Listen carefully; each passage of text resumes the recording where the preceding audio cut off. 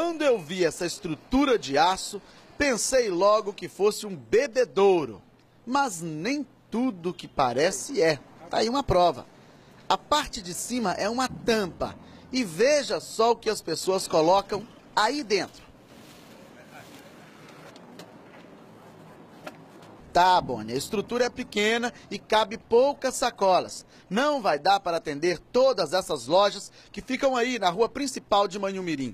Negativo.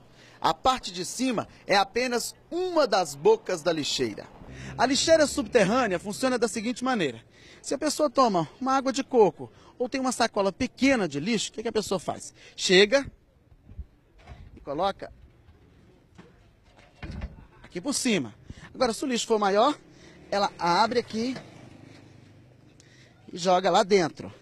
Ela tem 1,80m de profundidade e cabe cerca de mil quilos de lixo.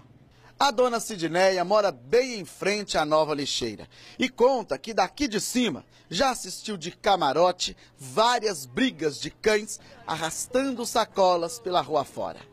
É que o lixo era colocado no chão mesmo. Cansada de ver a mesma cena há anos, hoje ela resolveu conferir de perto a inovação que pôs fim às confusões da bicharada na calçada. Agora, graças a Deus, atualmente, estou livre e tranquila a respeito do lixo. Agora não vai ter mais cachorro brigando aqui na Se porta. Deus quiser, e toda manhã atravesso a rua tranquilinha, trago meu lixo, ponho ali, feliz e satisfeita. Resolveu o problema todo, entendeu? Graças a Deus. O responsável pela instalação da lixeira no centro de Manhumirim é o secretário de obras da cidade.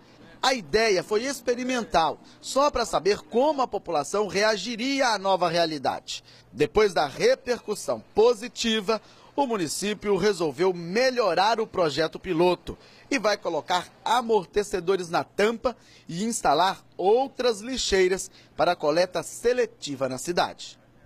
lixeiras que é depositado no dia a dia no solo, né? Lixeiras comuns, aonde tiver a gente vai construir. É uma aproximadamente umas 50 lixeiras dessa. Essa vai ser comum e o reciclado. Vai ser duas, um do lado do outro, comum e reciclado. Aproximadamente vai ser construído 50 lixeiras dessa no nosso município.